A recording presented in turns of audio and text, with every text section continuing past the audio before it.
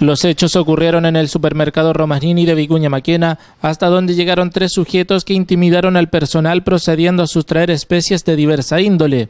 De acuerdo a la versión de carabineros, el oportuno llamado al fono 133 permitió que personal se hiciera presente en el lugar, iniciando una rápida captura de los responsables de este nuevo hecho delictual en la zona. Recibimos un comunicado eh, que tres sujetos que habían efectuado un robo con intimidación en el supermercado Romanini eh, huían por calle Vicuña Maquena hacia el poniente.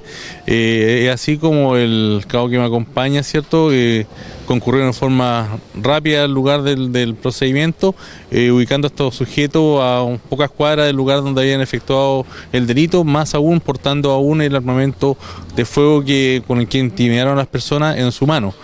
Fueron reducidos por el personal y detenidos en el lugar tres sujetos, los cuales uno de ellos tiene antecedentes, eh, uno portando un arma de fuego y los otros dos obviamente acompañándolo a cometer eh, dicho ilícito. El oficial dijo que sigue siendo importante la colaboración que la comunidad pueda prestar para dar oportuno aviso frente a este tipo de situaciones. Es por eso que yo creo que fue una, reacción bastante positiva y oportuna, eh, por lo cual sacamos a tres sujetos que están efectuando delitos de nuestra comunidad, ¿cierto?, del, del, sector jurisdiccional y van a pasar a control de detención el día de mañana. ¿Los tres son mayores de edad, mayor?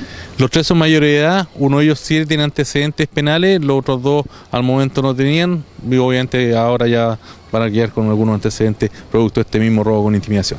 Destacó que el rápido desplazamiento del personal de carabineros se debió especialmente al reforzamiento que se ha hecho del trabajo policial en las motos con que cuenta la institución en la zona. De hecho, con la congestión que se hace normalmente a la hora de, almuerzo, inclusive a la salida de los trabajos las personas, se hace muy difícil eh, llegar en forma oportuna a los lugares donde son requeridos carabineros, por lo cual eh, implementamos, eh, haciendo un esfuerzo extraordinario, los motoristas nuevamente para poder tener un tiempo de respuesta más oportuno y conforme a los requerimientos que quiere la ciudadanía. ¿Se va a reforzar la sección moto?